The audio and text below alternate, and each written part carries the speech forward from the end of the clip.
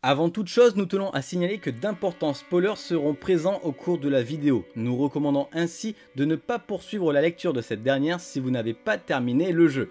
Mais n'hésitez pas à revenir sur cette vidéo après avoir terminé votre voyage dans The Last of Us partie 2.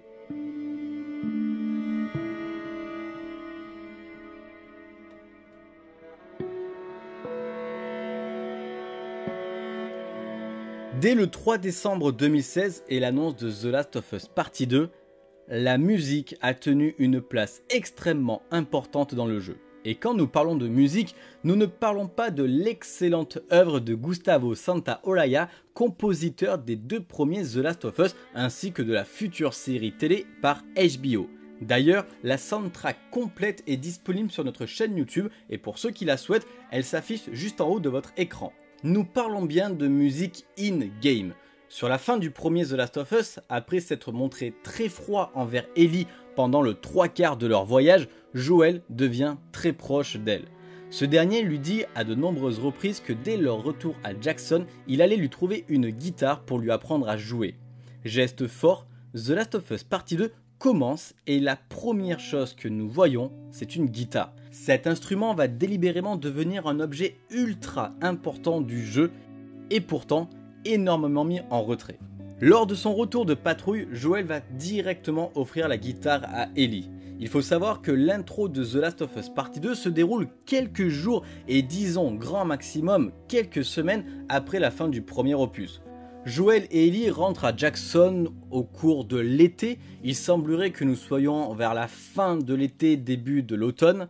De plus, Joel voulait apprendre à la guitare à Ellie dès leur retour à Jackson. On sait donc que nous sommes dans une suite directe et dès le premier soir, un cours de guitare est déjà programmé.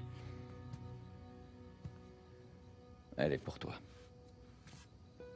Oh non, non, non, non, je saurais même pas comment la tenir. que je t'apprendrai à en jouer.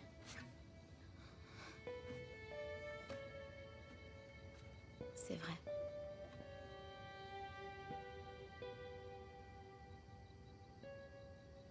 Qu'est-ce que tu dirais d'une première leçon demain soir Bandit. À partir de là, la musique va entrer dans la vie d'Ellie. Et à partir de cet instant où Joël lui joue un air magnifique, la guitare et la musique seront directement liées et attachées à Joël.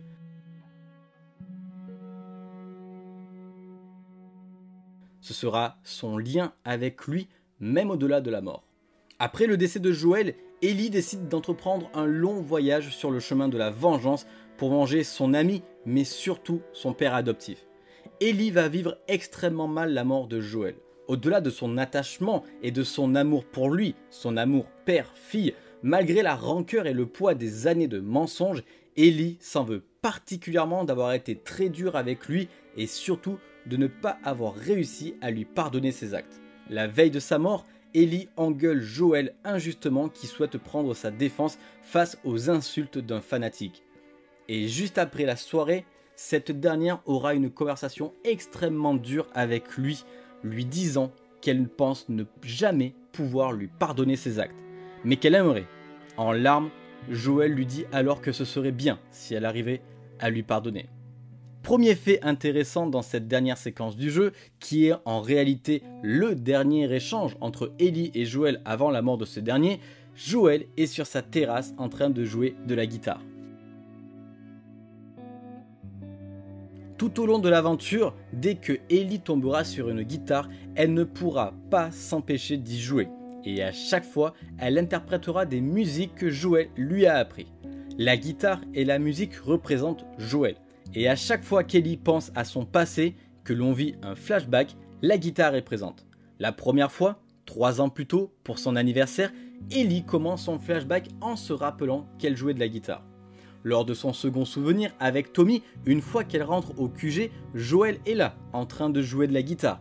Et d'ailleurs, ils passeront un moment ensemble grâce à la musique et grâce à la guitare, étant donné qu'à la base, ils devaient faire une patrouille près d'un magasin de musique pour récupérer des cordes de guitare. À la fin du jeu, dans son ultime souvenir, ce dernier commence par Joël jouant de la guitare sur son Porsche. Le seul souvenir dans lequel la guitare ne sera pas présente, c'est le souvenir où elle découvre la vérité. Son seul souvenir pas réellement heureux. À la fin du jeu, au moment de tuer Abby, c'est un souvenir de Joël en train de jouer de la guitare qui lui fera lâcher prise et qui lui redonnera son petit côté humain. La guitare, la musique, c'est son lien avec Joël et c'est ce qui l'empêche de passer à autre chose. C'est ce qui l'empêche de faire son deuil. C'est d'ailleurs après avoir une nouvelle fois joué de la guitare et en se rappelant du souvenir de son premier baiser de Dina la veille de la mort de Joël qu'elle décidera de repartir à la recherche d'Abby. Une simple mélodie, un simple grattement de cordes lui font immédiatement penser à Joël et au fait qu'elle lui est encore redevable, qu'elle ne l'a pas encore vengé. Ellie part et va tout perdre, l'amour de Dina, la vie du bébé Gigi, juste pour faire honneur à Joël. Au cours de son affrontement final, de nombreuses choses passeront dans la tête d'Ellie. Le souvenir de Joël sera le déclic, c'est terminé, c'est fini, ça en est trop. Finalement, et malgré tout, le dernier souvenir de Joël qu'Ellie aura en tête, ce n'est pas de son cadavre. C'est un souvenir très positif, très beau de son père adoptif en train de jouer de la musique sur son porche, en train de sourire. Elle va alors lâcher Abby, la laisser partir. Le deuil est en train de se faire. De retour à Jackson, Ellie a effectivement tout perdu. Elle se retrouve seule dans sa chambre et elle retombe dans ses démons. La guitare est présente. Il faut qu'elle joue. C'est pour Joël. Mais cette fois, Ellie ne peut plus jouer. Le combat avec Abby a été particulièrement éprouvant et Ellie a perdu deux doigts. Des doigts importants puisque ce sont ces doigts qui lui permettent de jouer des accords. Ellie ne peut donc plus jouer de la guitare. Cette dernière la pose contre la fenêtre et s'en va vers son nouveau destin. The Last of Us Partie 2 s'ouvre sur une image de la guitare avec Joël qui la tient. The Last of Us Partie 2 se ferme sur une image de guitare seule. La boucle est bouclée. La mort de Joël est désormais derrière Ellie. Le deuil et les pardons sont enfin là.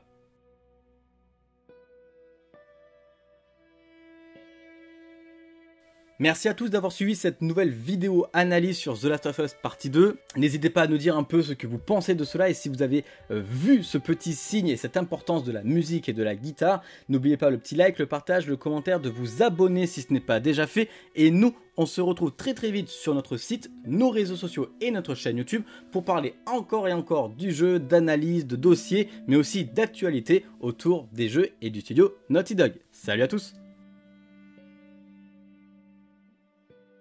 Thank you.